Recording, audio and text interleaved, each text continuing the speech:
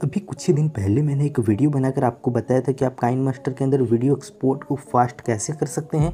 यही एक वीडियो का लेंथ बहुत ज़्यादा है, पाँच छः मिनट का वीडियो है तो लोग बोल रहे हैं, इतना नंबर वीडियो क्यों बना रहा है? अपना वॉच टाइम खींच रहा है। तो आपको सिंपल प्रोसेस दो से तीन मिनट बताने की पूरी पूरी कोशिश करूँगा कि आप अपने वीडियो को फास्ट तरीके से कैसे एक्सपोर्ट कर सकते हैं। तो आप इस वीडियो में एंड तक बने रहें। सबसे पहला बात, आपको यहाँ चले जाना अपने सेटिंग पर, काइन मास्टर एप्लीकेशन के। सेटिंग पर जाने के बाद ऑप्शन वेरी इन्फॉर्मेशन जो लिखा हुआ है, आपको यहाँ टैप करना है। टैप करने पर आपको इस तरह का दिख जाएगा।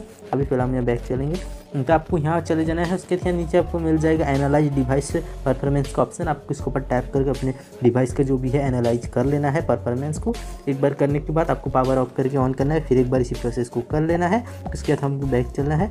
उसके बाद आपको यहाँ वीडियो को एक्सपोर्ट करते वक्त हमेशा यहाँ आपको जिस एक्सपोर्ट पर जाएँगे, आपको यहाँ जो है आपका रेजुलेशन जो है, यहाँ टेन या फिर सेवन ही रखना है। अगर आपको आप यूट्यूब के लिए कर रहे हैं तो मैं आपको कहूँगा कि आप सेवन ट्वेंटी में ही करें, क्योंकि ज़्यादातर लोग थ्री सिक्सटी या फिर four eighty P two forty P पर ही वीडियो को देखते हैं। उसके बाद आपको फ्रेम रेट जो है यहाँ साठ नहीं रखना है, तीस ही रखना है या उससे कम नहीं रखना है, आपको तीस ही रखना है, उसके यहाँ आपको मिल जाएगा बिट रेट बिट रेट जो ये गाड़ी है, इसे बोलते हैं बिट रेट अगर हम यहाँ इसे बढ़ाएँगे तो नीचे यहाँ अगर आप देखेंगे तो यहाँ पर टाइम वगैरह जो एमबी वगैरह बढ़ता है तो आपको यहाँ सिंपल सा ये जो बीच का लाइन है ना, ये वाला हिस्सा गार इसके इस साइड पर हमेशा आपको रखना है। तो आपको हमेशा यही रखना है, आपको सिंपल से जो भी क्वालिटी लेंगे three sixty P five forty P seven twenty P ten eighty P जो भी आपका क्वालिटी होगा तो आपको सिंपल से इस गार के इस तरफ़ ही रखना है इसको।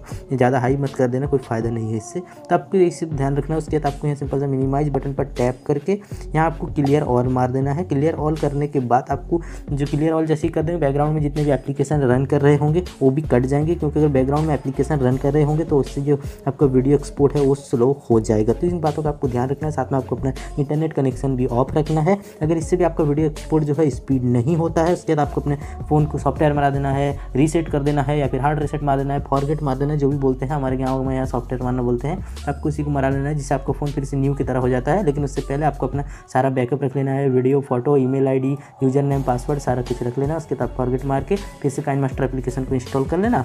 उसके बाद आपका जो एक्सपोर्ट स्पीड है वो सही हो जाएगा। इस प्रोसेस आपका जो एक्सपोर्ट है वो फास्ट हुआ या नहीं, वो आप कमेंट करके ज़रूर बताना। बाकी हम मिलेंगे नेक्स्ट वीडियो में। तब तक अगर आपने फास्ट फिक्स पिक्स को सब्सक्राइब नहीं किया है सब्सक्राइब करके बेल आइकॉन प्रेस कर दें। कोई सवाल है कॉमेंट बॉक्स पर छोड़ सकते हैं। मैं रिप्लाई देने की पूरी पूरी कोशिश करूँ।